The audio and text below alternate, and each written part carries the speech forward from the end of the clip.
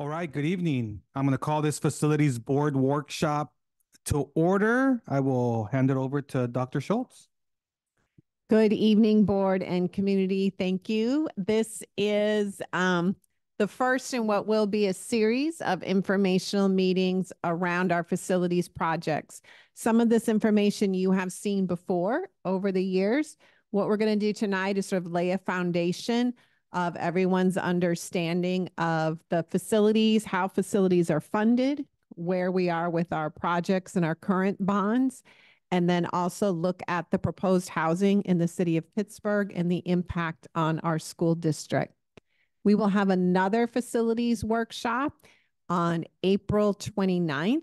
And so as you're listening to all the information that's coming before you this evening, also please let us know other information that you're going to want to see when we come back to you in the end of April. And then in June, we'll be asking the board during the two board meetings in June to dis discuss and decide whether or not we will have a bond on the November 2024 election. As you'll see this evening, the last time that we had a bond was in 2018, and our current project of Hillview Junior High School will then use all of our remaining bonding um, funds that we have. Hmm. So that combined with any potential increase in enrollment is what we'll be looking at.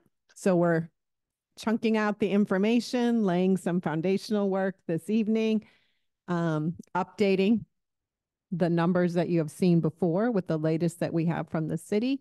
And then again, we'll be coming back to you in April.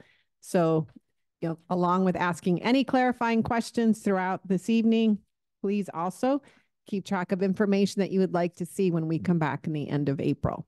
And I will turn it over to Mr. Haria and Mr. Scott. Thank you.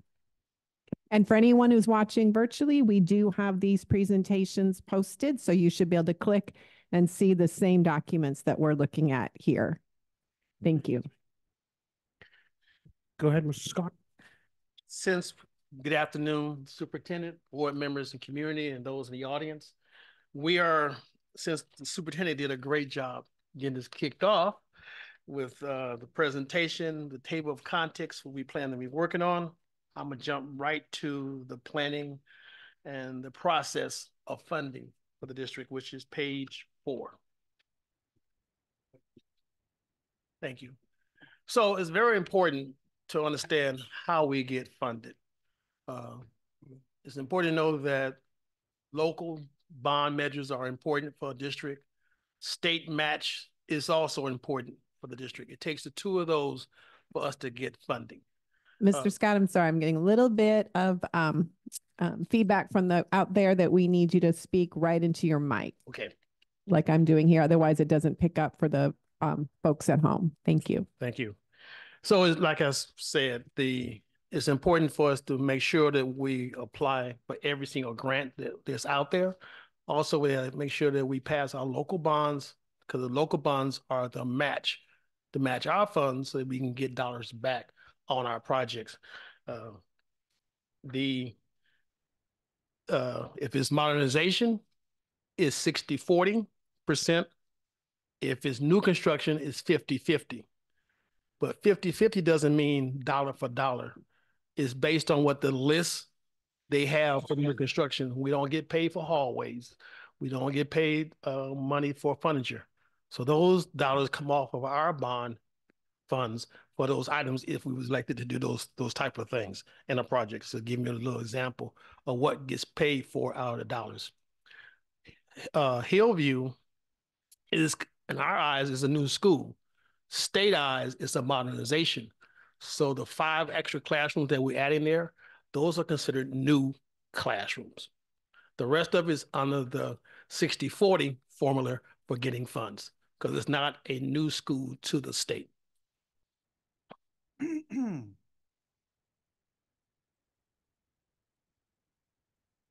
Mr. Scott, Yes. I'm I'm, I'm assuming dur- during this workshop we can just interrupt Yes. and and ask questions. So seems here that what you mean by matching funds is um as long as we use local bonds, then we're able to then get matching funds from the state based on the formulas that you just described. That is correct, providing that the state has money. Got it. So it's, it's, it's like this year, the Cash Organization, which is the Coalition for Housing for Students, uh, in our organization, we're pushing the governor to put on the ballot a bond measure for uh, a new ballot for funding for schools. Right now, the state is running out of money for bond programs, but so we need both part of those items to make a complete project. Got it. Thank you. Question, question. So, yes, Mr. Miller? The difference between a modernization and a new school is that even though we're building Hillview and it is a new school, we're only going to get funding for modernization. Yes, only only the five new classrooms considered new because we already have an existing facility under that under that name.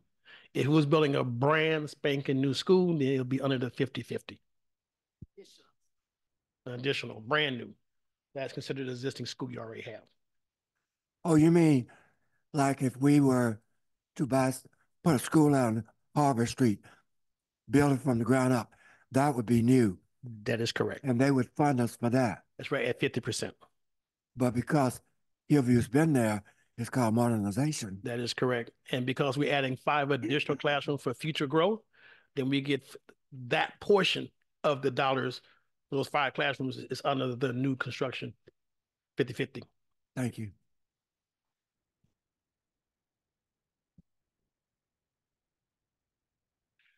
Talking about money and how we fund our school facilities, uh, we doing some pre-planning right now for the bond measure, perhaps in 2024, in the in the November elections.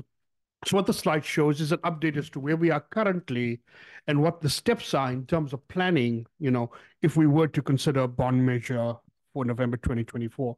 So we've compiled a survey, and that survey should be going out after the election. So March 10th is what we're targeting.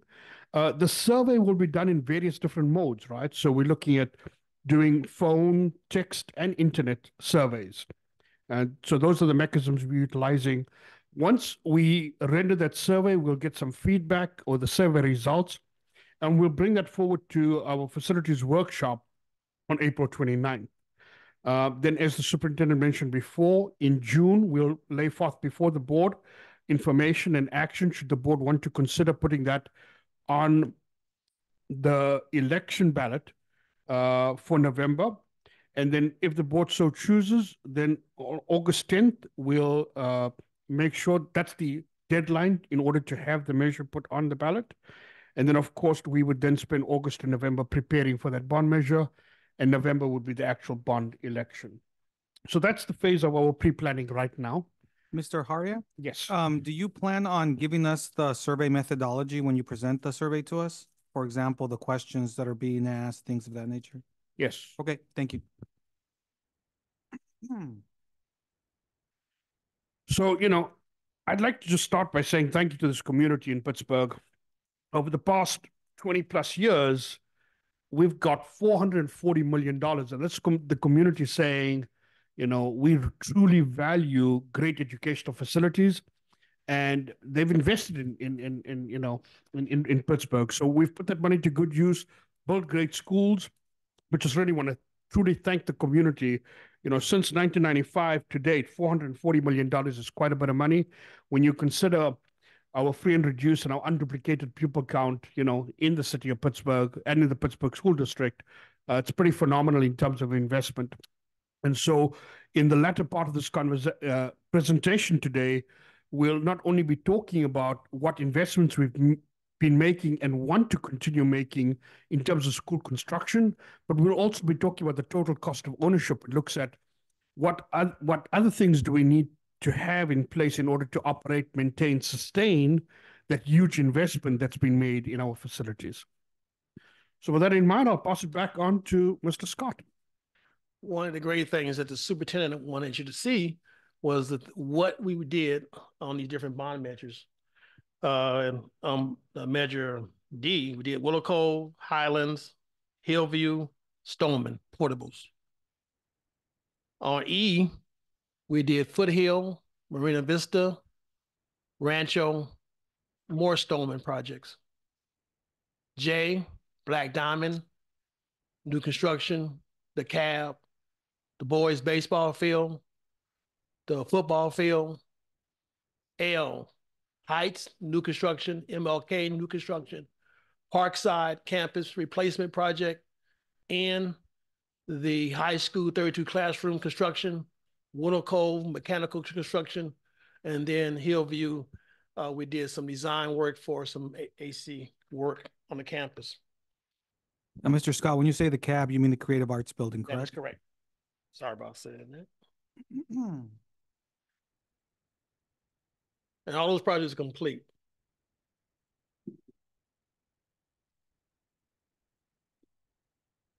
Not, cl- not moving.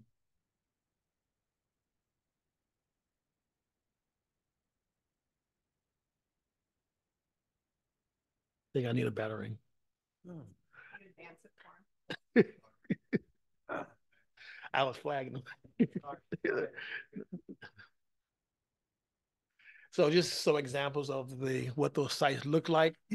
Um, so, Like I said, I am proud to be part of this community that did some work here in this community. And them it's nice schools were- that were attracted me to this district.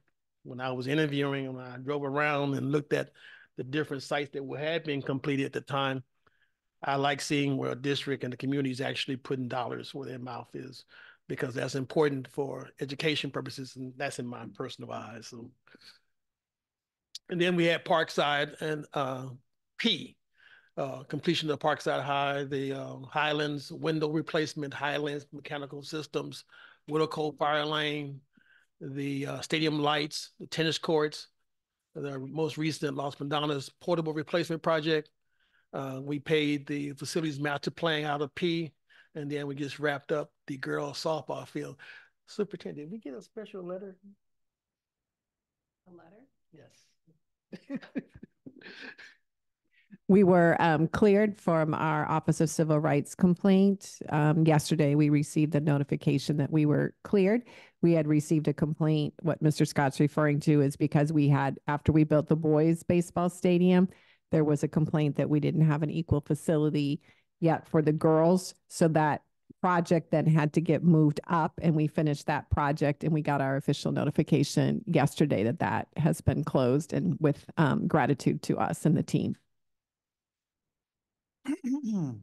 And then what's under construction right now, as you know, Hillview, once you get past the lakes and the rain that's out there.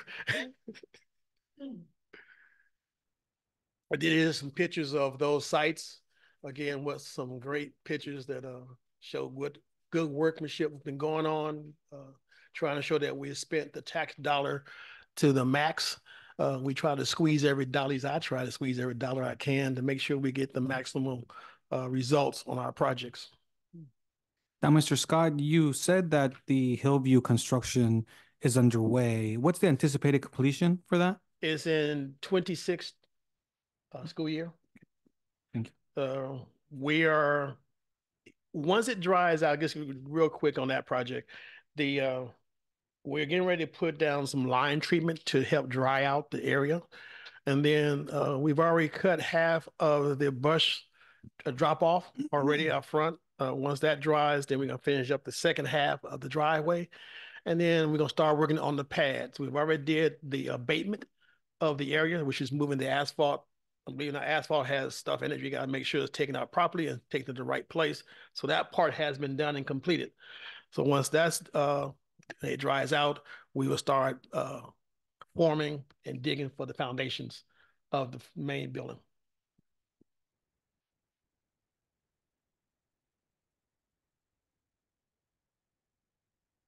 Now, we have some other smaller projects that we're working on uh, that came up as needs to the district. Uh, we have some clocks and bells that uh, created some problems for us that we need to take care of. Uh, Los Medanos, Stoneman, and the uh, high school. Uh, we also had um, some problems at the fire alarm system at Stoneman need to be taken care of. And then there was a hood issue over at Marina Vista that we need to take care of. We had equipment outside of the hood space and the fire marshal came by and cited us, so we gotta make sure we take care of those type of items. So these are some additional dollars that we had to spend that we're using from funds that has come in from the reimbursables that we had turned in for the state to pay for these fundings.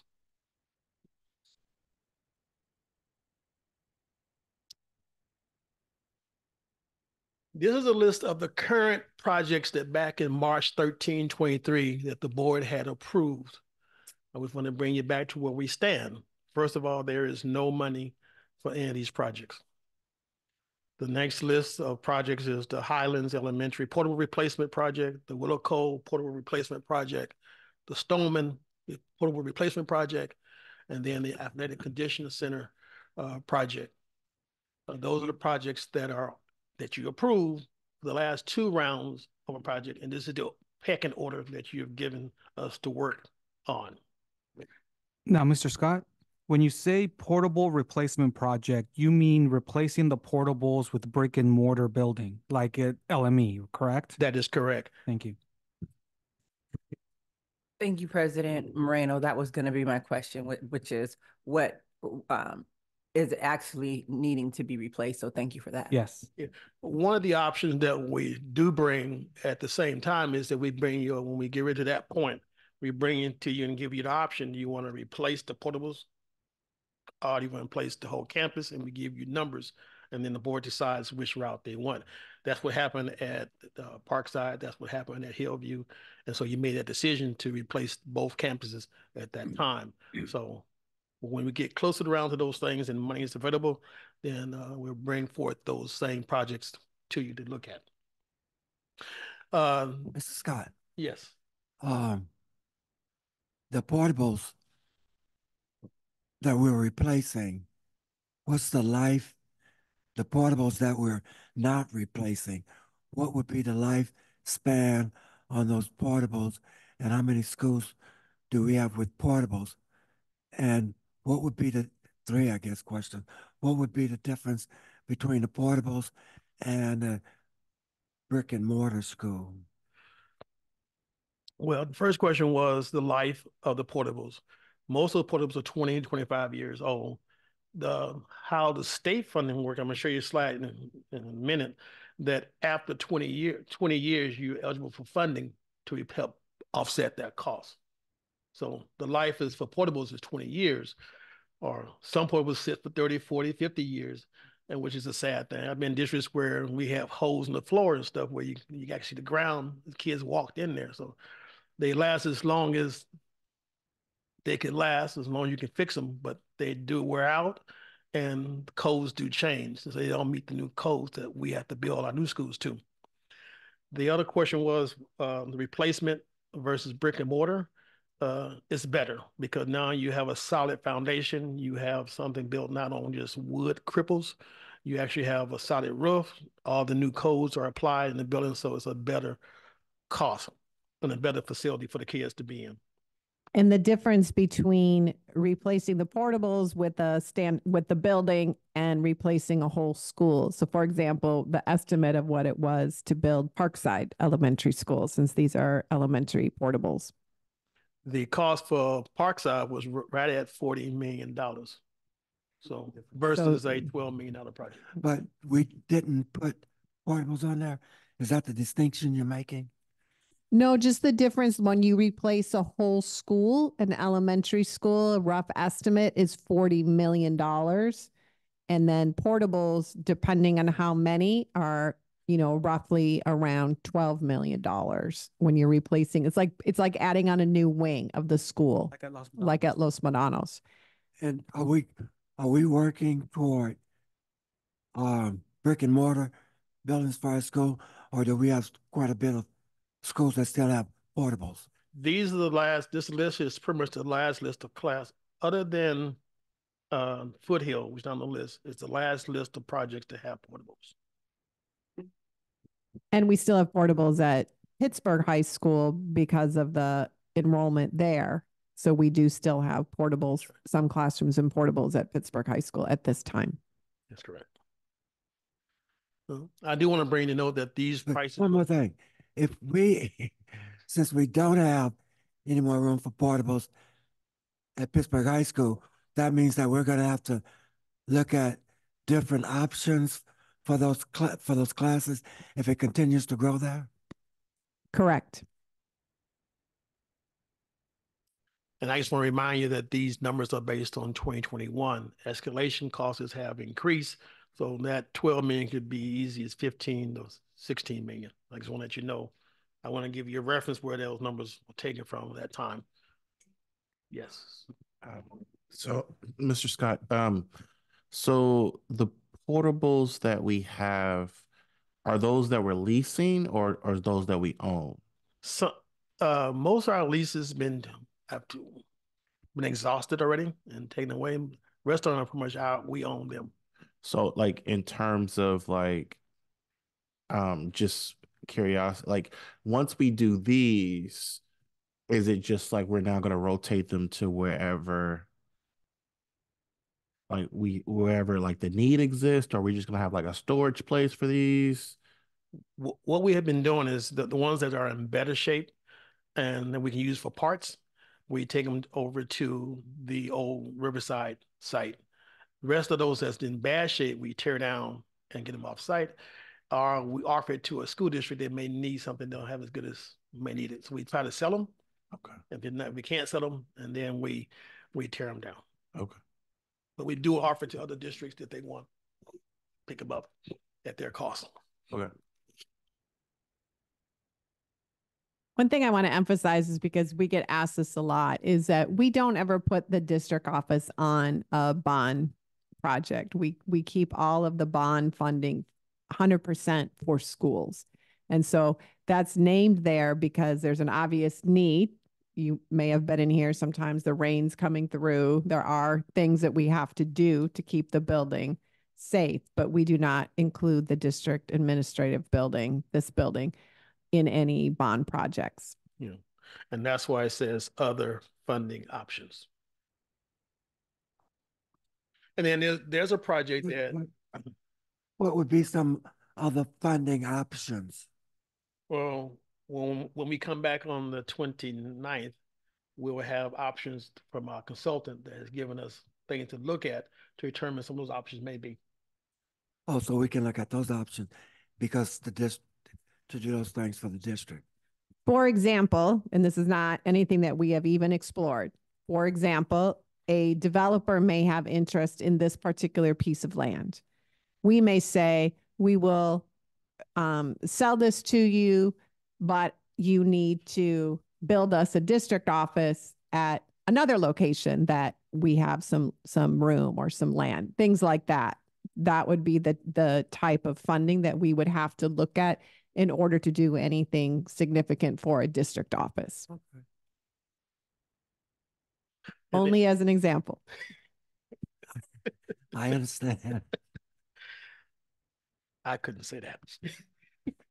The, uh, the other thing is there's an, another project that we need to add to our list, to our list of projects is that we never did do a track and field at MLK. The other, uh, middle schools have a track and field and that one doesn't have one. So when it come down to adding stuff or approving the list, we need to make sure that we at least look at MLK for a track and field.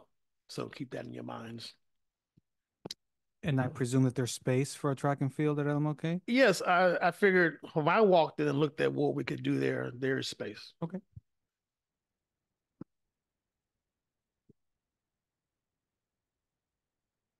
So early on, you heard me mention the four hundred and forty million dollar investment mm-hmm.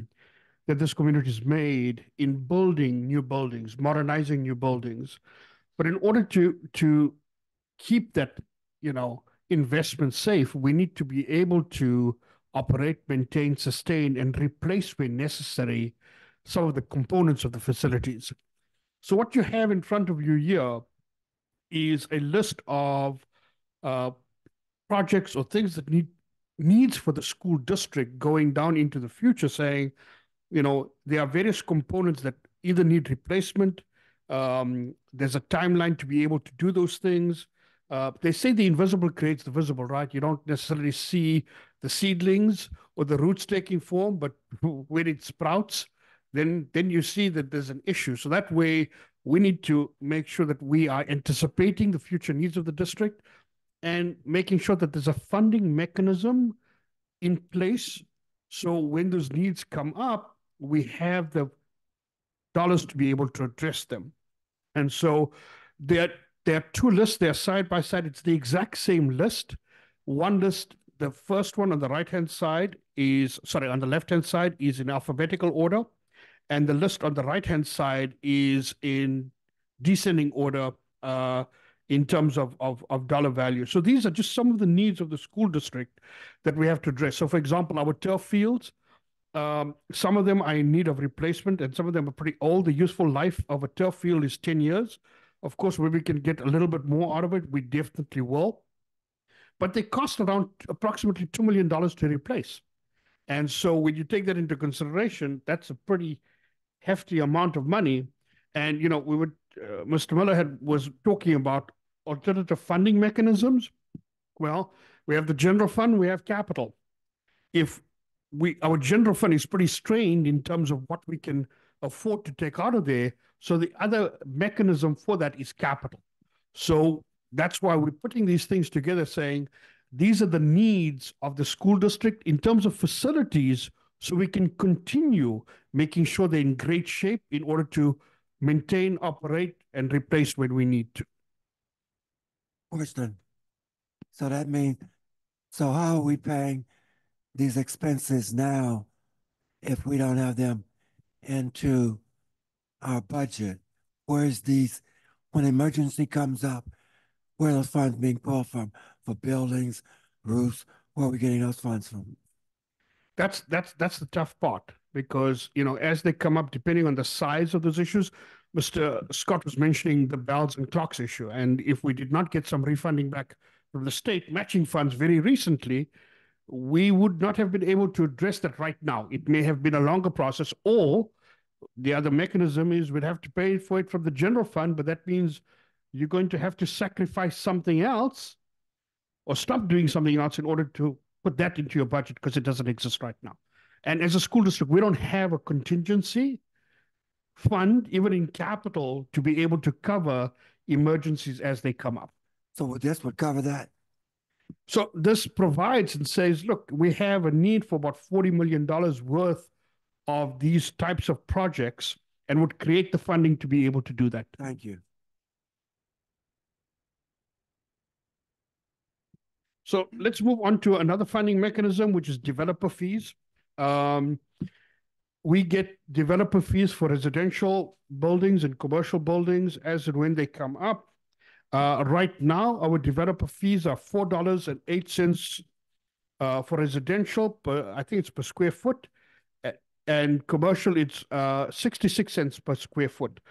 Um, most recently, the state just approved new rates. Uh, residential being five dollars and commercial being eighty four cents per square foot. Now we are currently undergoing a fee justification study uh, we will come back to the board in April with that study. And if that study says, hey, you know, we can justify a new rate, then we'll come to the board with that information that will help us uh, increase our developer fees. Um, this is just a small history of our developer fees. We usually bring the report. The report was brought to the board in January, so pretty recently here. Uh, for developer fees, as you can see, we started with the balance of 1,000, sorry, $1.7 million. Um, we received about 722,000 uh, from developer fees and interest. And then in terms of our expenses, we put some capital outlay that was basically for our TK buildings as well as moving some portables. And then, you know, we also paid uh, for some taxes, the enrollment st uh, study that we do every year. And so as you can see there right at the bottom, our fund balance is $2.3 million as Mr. Scott was mentioning early on, you know, even when you do classroom replacements, Los Medanos was our latest example. We paid, I think, 18, $18 million for that project. Our developer fees are $2 million. They won't even cover a few classrooms, permanent classrooms. So, you know, when you think of developer fees and what you can utilize them for and how far they can go, there's not a lot of money in terms of what we may need to provide in terms of creating student capacity if there is limited capacity at a school site. it will help somewhat, but it does not cover the cost of, you know, providing those facilities. We really wanted to show the board and the community the actual funds that we receive for developer fees. Because a lot of times people assume, oh, there's building, you get that developer fees. You don't need any more money. But, and we're certainly happy to have the developer fees. But as you can see from the reality of what we collect, that is not enough to build a new building, yet alone um, even a wing or portable we can do some portable additions, some things like that. But we cannot build an additional without having to save for years. Mr. Scott, back to you. Well, this is something, this is a slide that you have not probably seen ever. This is. That's, uh, that's true. Explain, Mr. Scott. This is how we get funding. Um, this is when the next dates of funding coming available to our district. This is from a long time of effort that we put in to make sure we do get dollars. Um, our district in the past have not been really good at making sure we follow up to the process. Uh, since I've been here, I've been trying to make sure that we stay on top of getting dollars and looking for the avenue to get the funds. So we have have received some dollars. We have dollars coming, and we have dollars in the future that we lined out. The state gives you a timetable when you apply for dollars. I'm gonna go to a better sheet. Mr. Scott, Yes. if I can ask a question just just for clarity for anyone that's listening. Here it says summary of application for state facility program grants.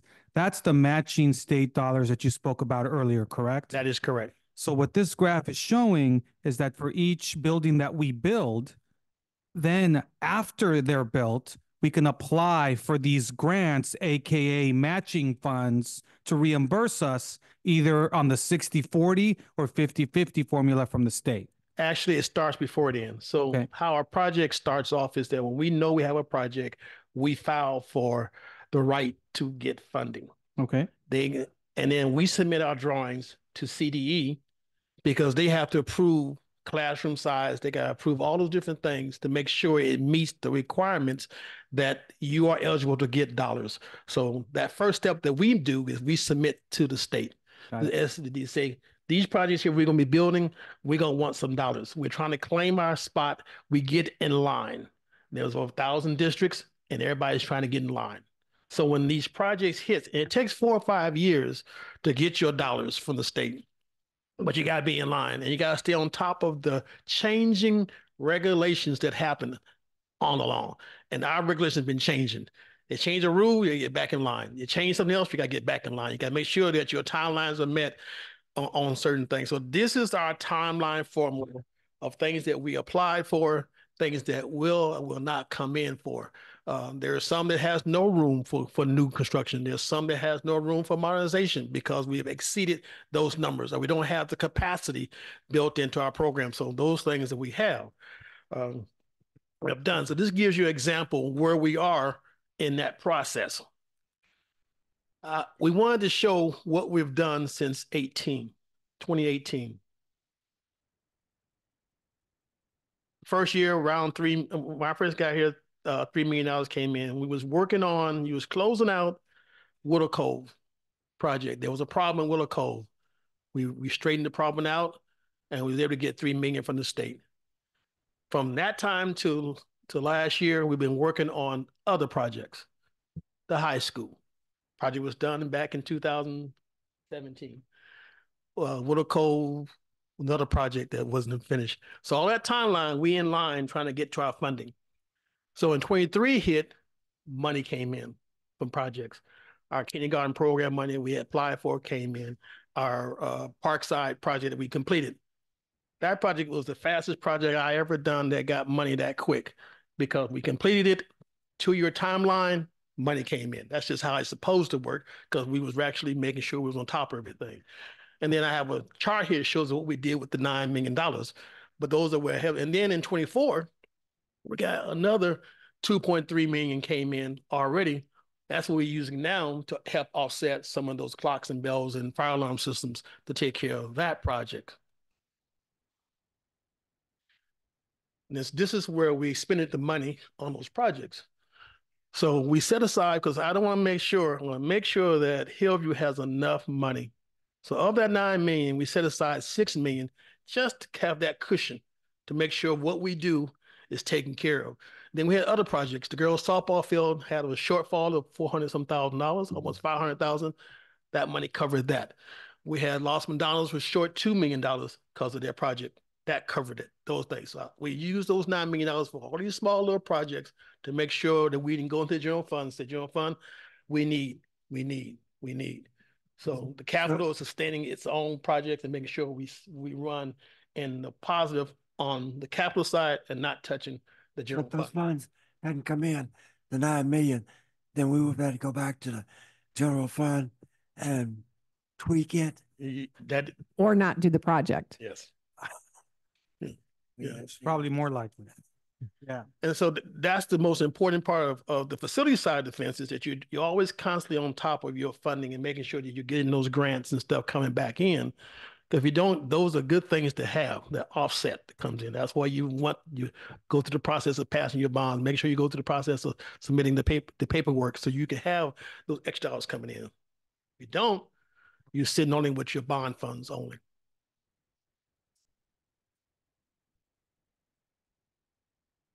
Now, this you can see a little better.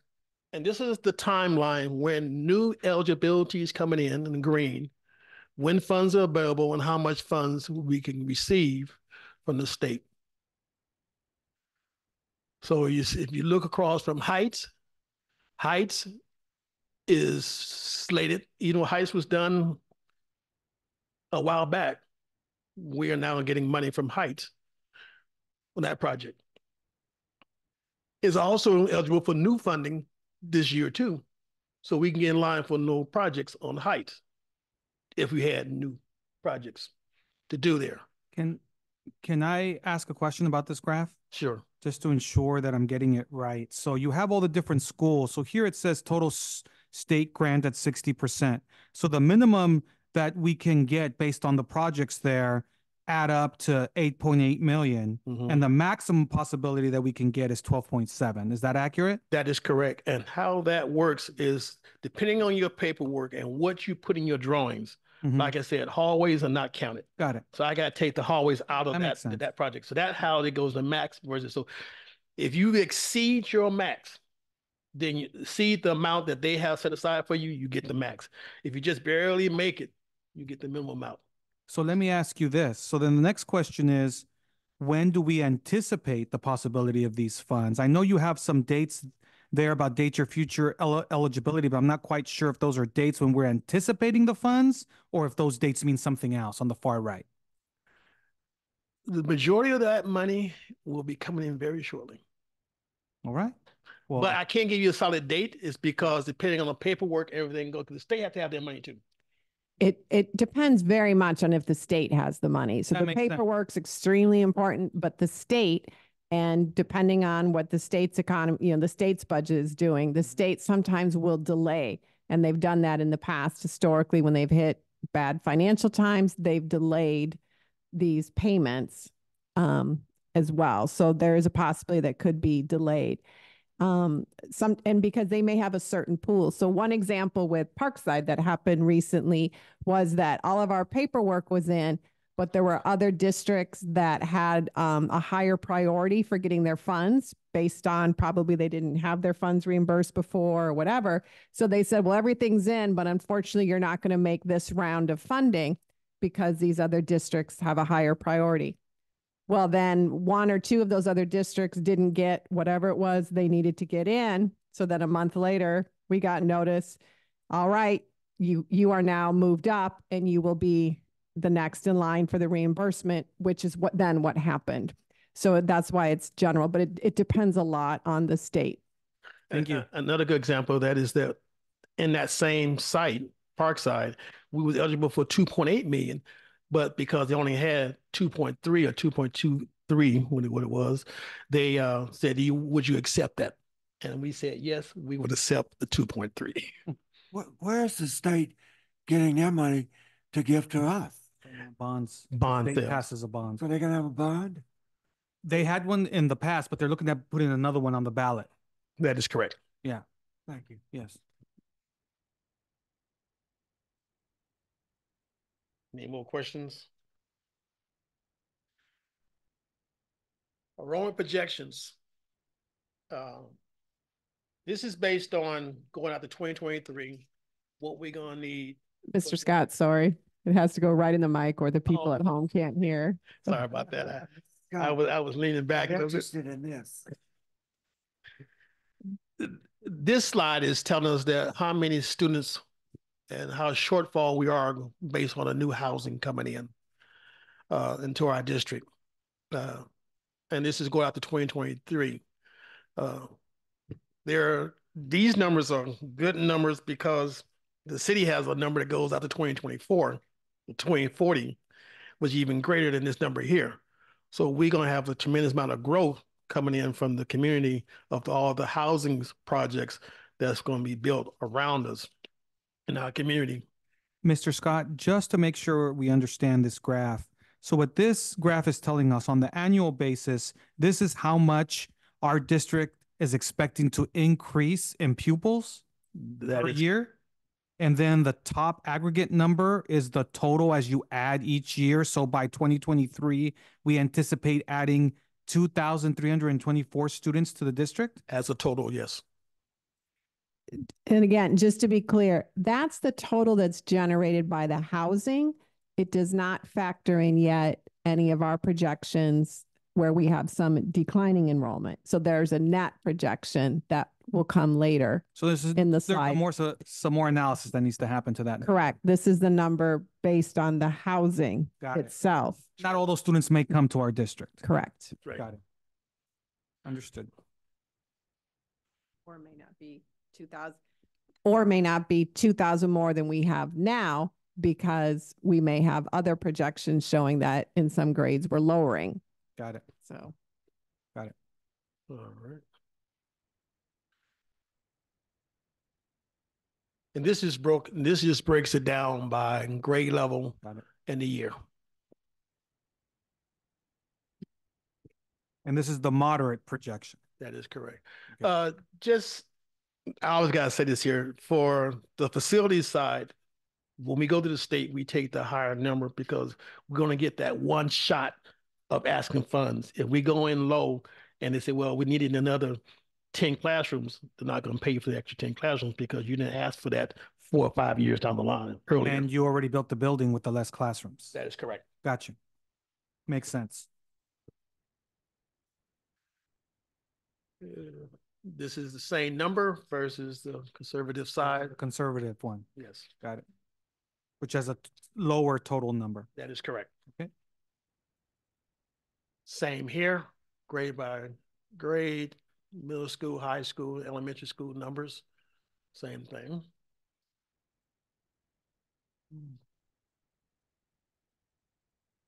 Did I miss a slide? I missed it.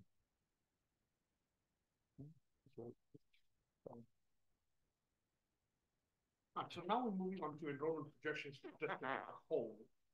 And so this is taking, you know, all the trends into account, including the housing, but also including what may happen from a, a, a a smaller birth rate, uh, people moving out of state, you know, all those. Here we go. So in this chart here, what we're looking at is, is our total enrollment, looking with all the combined trends, your latest demographic, birth rates, looking at uh, declining enrollment, looking at new housing being built, all that combined into one chart. And so this, they still provide two. One is the moderate, one is the conservative. The conservatives on the next page. But while I'm on the moderate page, let me show you some trends quickly. So if you go to the 12th grade class and then look at the first, uh, the second column on the right-hand side, that's 2023, go to 12th grade, you'll see there that the class is 975 students. Now look at the following year. it drops to 858 students, right? Why is that? Because that 975 students have graduated, right? Go to 11th grade for 2023, you'll see there's 850 students. Those are the 850 students that in 2024 will be moving to 12th grade. So no longer is that cohort 975, now it's a smaller cohort of 858.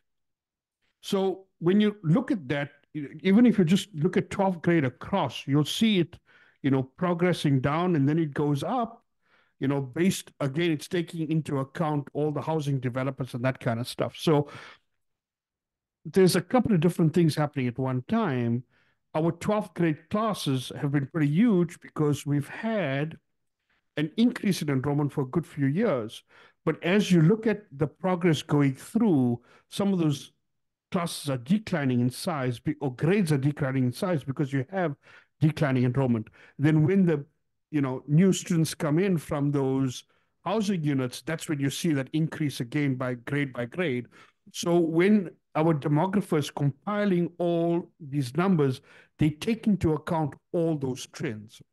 But essentially, if there was no housing, no new housing, then we are definitely going through declining enrollment. Because when you look at, if you go all the way up to 2023 and go to kindergarten, 614 students. So you have 614 students in kindergarten, but 975 students in the 12th grade that are graduating. So the new students coming in is much smaller.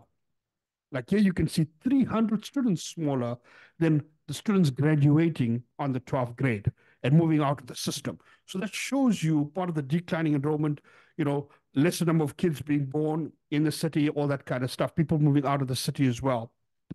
So this as a whole shows what we're looking like for the next couple of years. Of course, we update this every year.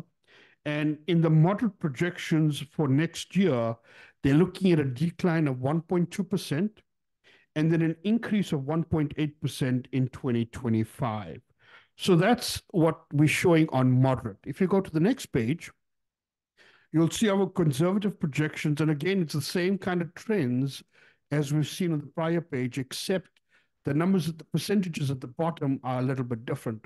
So the percentage change for 2024 is a decrease here of 2.5%. And then when you go to 25, it's looking at going up now by a half a percent. So somewhat different from the moderate projections. Again, when we're dealing with facilities, we always want to make sure that we don't know exactly how many kids are going to come, but if they do, we need to make sure we have the capacity to be able to do that. And so when we're dealing with facilities, we bring through the moderate, but always want to show the conservative as well, because as we're talking about finance and that kind of stuff, those are the projections that we utilize. So you've seen the moderate before, and these are the conservative projections that we're looking at utilizing for next fiscal year. And this here is just a slide of all of the housing that's coming into the district, uh, uh, into the district uh, right now. Uh, we check with the city to make sure these is current. Uh, everything is pretty much on track. The only difference in this one particular slide is that we projected that we would have had some of the houses, some of the uh, apartments ready in the Atkinson's project last year.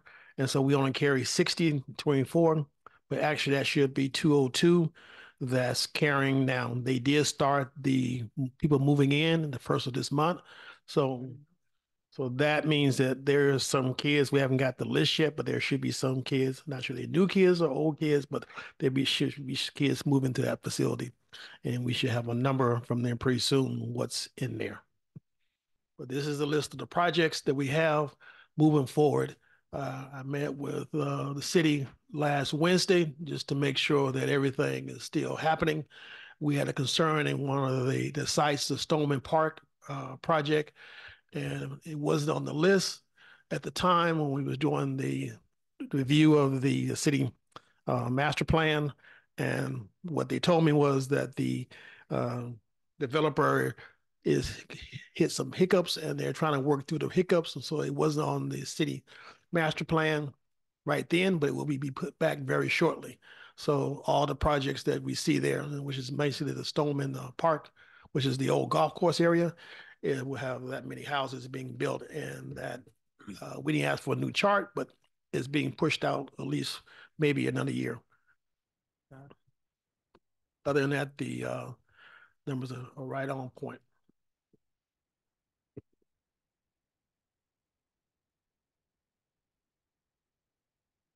Next steps. April 29th, the facilities workshop again, and we plan to look at the impacts of growth for the new development. Uh, discuss the, uh, properties options, review current and new capacity per site. Uh, remind you of the June board items that's coming forth in June regarding the bond. And then the list of projects that we made to look at for going forward. Is this the agenda for 29th of April? Yes. So I have a question. Thank you very much for this presentation. So um, with the 29th uh, facilities workshop, thi- this is all great information. Um, but I wanted to ask for the 29th, I know that we're doing workshops, we're sort of getting information, but uh, do some of these items, are some of these items going to require decisions from the board? I know that we have a decision for placing a bond or not on the ballot, but I'm talking about these, these here. Do they have decisions that we're going to have to make aside from the bond issue? No, the bond um would be the first decision the board makes. Okay. And then pending that decision or around the same time, it's up to the board. You would look at the list of projects and reprioritize. And you may move another project up, another project depending. So that's something that commonly happens, but it doesn't have to be um before Got the- it. The decision for the bond. And then if there is any kind of decision, and you, you'll have much more information April, right? Because we project out about five years, but we're going to look out a little bit further. If there's any decision around um, uh, the need for an additional building, that would be something, but that would all come after the, the decision for the bond, and that would require the bond to pass. So that would be part of the 24, 25 school year.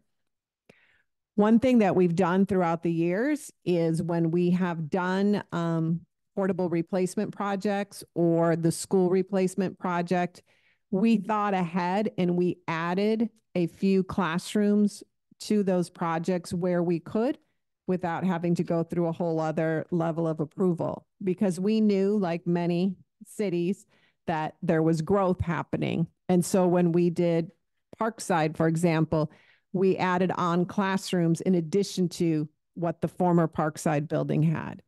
When we did the portable replacement at Los Medanos, we added on a couple more classrooms than what the former um, portables held. Hillview, the plans for Hillview has plans for five additional classrooms. So we've put them in in order to be able to think whether it's our configuration or 10 years from now, that there would be some flexibility in spaces. So we have done that throughout and we'll look at a closer look at that in April too, to look at the capacities of our buildings. Question. When we had the problem at the high school, where we had to build, um, wing P, what happened that we, where did that influx of students come from so fast? That's what I'm trying to figure out. That we had to build, how many classes was it, twelve? 18, no, 30, 30, sorry. That was in 2018, 30 classrooms. So placed, right? No, those were additional classrooms. So, so uh, um, some of that history predates me, but when I did come here, there were 30 teachers at Pittsburg High School who were floating. They were sharing classrooms. You may remember some of that, some of that from there too. There were also portables already on the building and so, and no other place to really put additional portables. And there wasn't a plan for growth. And so we did pass a bond um, in the fall of 2014, and then the board reprioritized the projects to put the additional classrooms at Pittsburg High School top of the list. And then we went through a process where we had students involved, the community involved. We looked at various spaces, um, pros and cons of each, did surveys, everyone weighed in, and then ultimately went with what it now is the P building for that in order to get that project done and relieve the pressure that was there. And so that enrollment has come down a little bit, but not significantly. So, you know, I don't know. So, so it didn't seem like it was necessarily a, um, a giant influx at one time, but that was building up over time that hadn't been thought of maybe in the long term in order to get in front of that need. The enrollment has come down a little because we have moved independent study. That was one of the projects. So we moved that. Um, and then also there has been some enrollment decline because um, districts are tighter, as are we with interdistrict transfers in terms of being able to leave your home district to go to another district. And we had quite a few. Um, we still do, but not at the rate we do that we did. Awesome. Thank you very much. Um, I, I just want to say that I appreciate the facility staff for really um, working on putting this presentation together, but not just that, also on working to have a good plan with our facilities, along with thanking the uh, bond oversight committee as well, because I think there's a lot of work, a lot of good work that is going in to make sure that not only our facilities are built well, but also that we get all the dollars that we are entitled to after those buildings are built. And um, I think these graphs on just the latest amounts that we've been receiving, sometimes on projects that predate um, the, a lot of the staff here now, I think is extremely is a good demonstration of really trying to do all we can. So I just want to thank all of you um, for that and uh, the whole staff. And of course, I, I know some of the bond oversight uh, committee members are here today. Want to thank them as well too uh, for all the work that they do to do this. And and it's just really great to be able to see all this information. And I'm really looking forward to the information in April um, so we can take a look uh, in more detail. So thank you. We did bring you some pictures so you, you can look at. We always had, like to have my boards up so you can see and as evidence that there's some hard work going on and we know what's going on in our community. Thank you. Um, and the board has time, but off the top of your heads now, are there any particular pieces of information that you want to make sure that we bring back in April? Again, you can make these requests at any time, but if there's something now in your minds that you want to make sure that we bring back when we have the April workshop. So I don't think this is new information, but I just like as we're ordering, how much of this is would be uh, of the order would be based on existing funding and how much of the ordering will be based on new funding? I don't know if I asked my question correctly. Ordering of what? So like we're supposed to be ordering the projects. Oh, Prior no. Yeah, but I'm saying, but based on how much of that that ordering would be used by existing funding that a bond funding that might exist in the district or versus or going out for a new bond would need to cover the order. I don't think there is any more funding. Yeah, there's no more money. So everything has to be covered by a new bond, correct? Okay. Yes. Correct. The Hillview Junior High School project is, we're expected to use our whole bond. Plus, there is a cushion of Mr. Scott has because there's always unintended weather, for example, delays that can happen. So there's six million that we have set aside for that. So there's a remote possibility that there might be a million or two left from that. But in essence, our entire bond is, um, will be used with Hillview. That'll be the remaining bond funds. Will Hillview get new furniture? Or will they take the nineteen thirties furniture over with it to the new school? Like, I said before, the state on their side do, doesn't pay for any furniture. But what we do cover is the five extra classrooms. We do put in for those new classrooms. We do do that. But for I am pricing just to see what the number looks like, what that cost would be. I haven't brought it forth yet, but I'm expecting it's somewhere around a million dollars extra we have to spend to do furniture. But remember, the other sites did not get all new furniture either. Well, some of them did. It, yeah, it's usually a mix. We always do the best that we can and you'll have an opportunity to, to weigh in. Well, I, Like I, new schools, new furniture. Not like me. sometimes some people like things to be vintage, Mr. Miller. No, but um, so I I, I already mentioned the uh, details regarding the surveys. Um, I would like to see at the next meeting, but what one of the things that I'm unclear about is when you say discuss PUSD properties options. I know we had the the evaluation of the properties, um, and pretty much across the board they suggest residential um, um development is probably the best use for them when you say discuss PUSD property options, is are we talking about discussing what to do with those properties? Is that the intent of that discussion? I think for the purposes of this, it would be to discuss where, if any of our properties, we would have the ability to place a new additional building of Got it. some sort. That will be the only thing that we'll be discussing at the Okay. April workshop is which of our current properties that we own are either big enough or would, or have the correct space. How, what could we put on that versus discussing um, their worth or sale that. So it would really, it, so that is really just to say, oh, if we do need additional building, here's what we own, so that wouldn't cost us for the property piece, and here's the size that it could have on there. Right. Well, will the district office be part of that when we discuss it? If we decide to, say, sell this, take the money, we could go to a, another property and build, will that be part of the discussion? No? I don't think that would be part of the April 29th discussion. It certainly could be part of a other discussion, but again, we haven't listed any of our properties for sale or put together any of that. We're really focused on the needs of the schools and what we would do in terms of um, any bonding capacity to meet the needs of our school facilities. And I, I was just gonna say, Dr. Scher, so then that's gonna coincide with the next one there, which is reviewing current and new capacities per site, which will let us know where we would need an additional building if we do.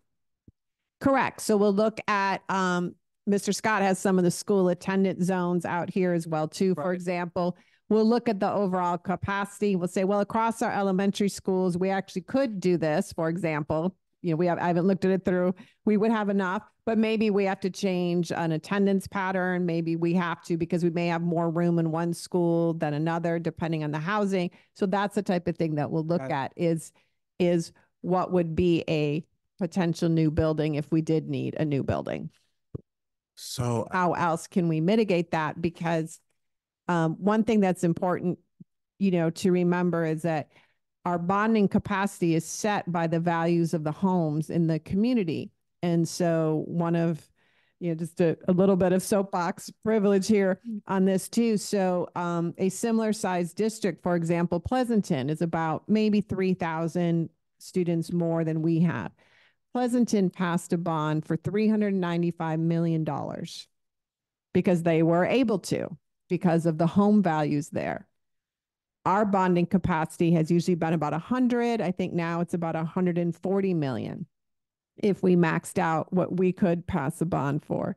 Now, school doesn't cost any different here than it does there, but it gives you an example of, um, first of all, the long history of how well the district has done with the bonds and our facilities, but also the importance of really being thoughtful and strategic about the best uses of the any kind of bonding capacity.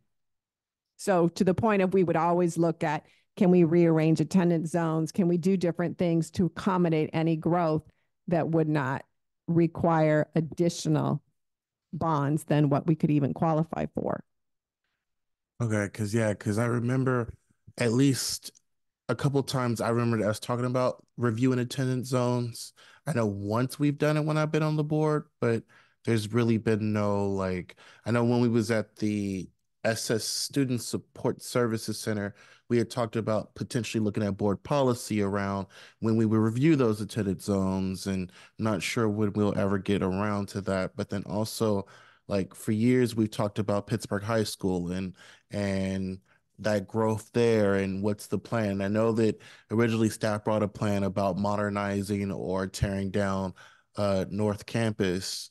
Um, but I'm just want as we think about a lot of these things, maybe have an opportunity for us to discuss it because I think that they're real, they're real, real, real crises in a way that Pittsburg High School is growing to a capacity where we might have to go back to having teachers share spaces because we're having too many kids in our buildings or we have or other alternatives. And so I just want to just make sure. And I know for years we've talked about um, our middle school overage and and I and I'm thankful that we were able to add the extra five classrooms, but just under but understanding where we are in the sense that when the new school MLK was built, it was hoping that we wouldn't have to keep relying on Hillview and and uh, Rancho to be the extensions of that. But it just seems like even with the modernization, we're going back to rely on Hillview to hold that extension.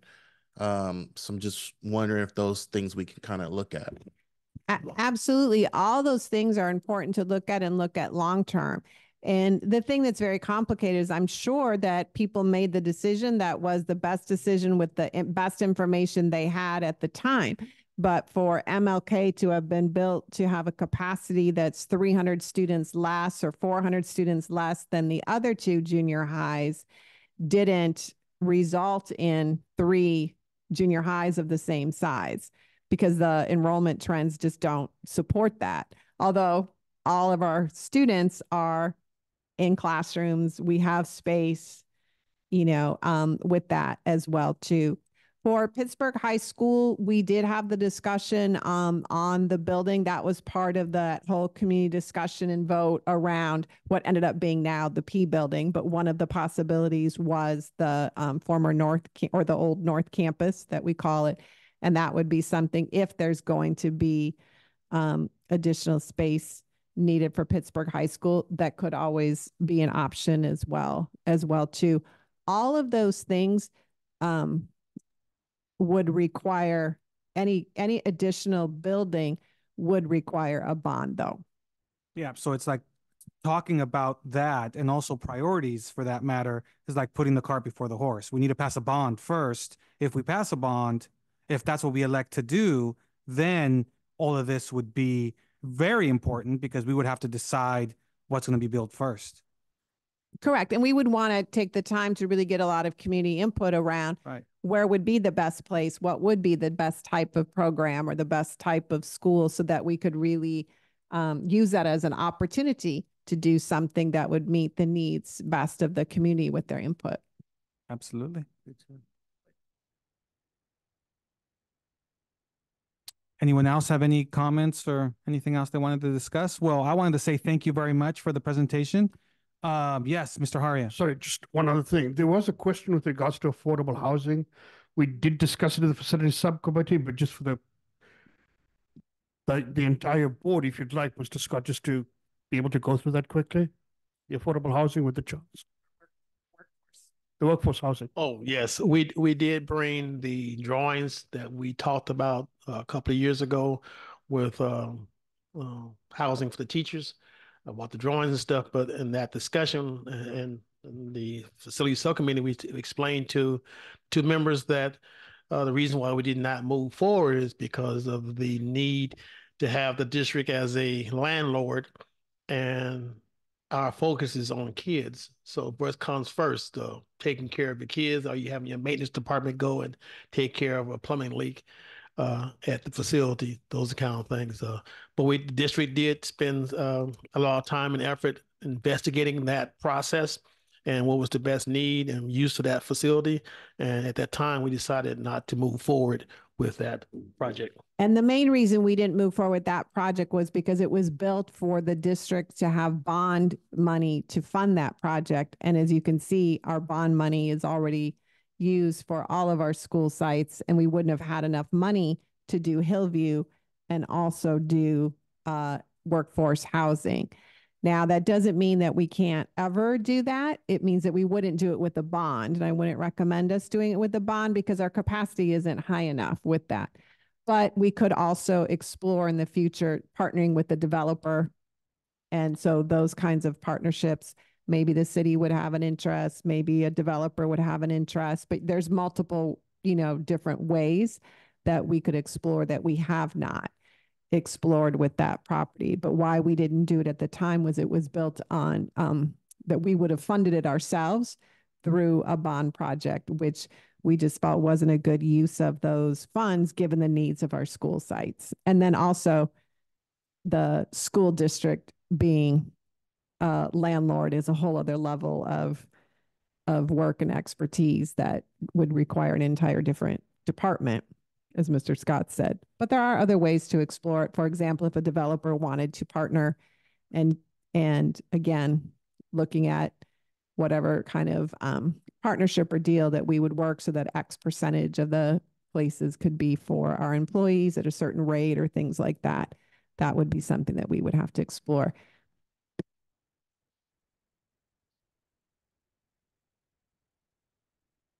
Okay, so if there are no other comments, I believe that that's the extent of our agenda. Do we have any public comments at all? Okay, so then with that, um, I will adjourn this workshop and we have our regularly scheduled board meeting this Wednesday, uh, February twenty-eighth. See everyone then. Thank you very much again.